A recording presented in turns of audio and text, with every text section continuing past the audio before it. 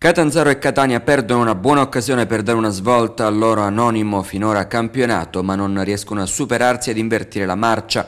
Finisce 0-0 la sfida di prestigio tra calabresi e siciliani allo stadio Ceravolo, valida per la ventitresima giornata di Lega Pro. Gli etnei di Pancaro hanno presentato l'ex del Catanzaro Andrea Russotto, buoni trascorsi con la maglia dei giallorossi calabresi. Una gara nettamente condizionata dal fortissimo vento che ha imperversato soprattutto nel primo tempo. Nella ripresa invece il vento è calato ed il Catania è riuscito a controllare più agevolmente le folate dei padroni di casa.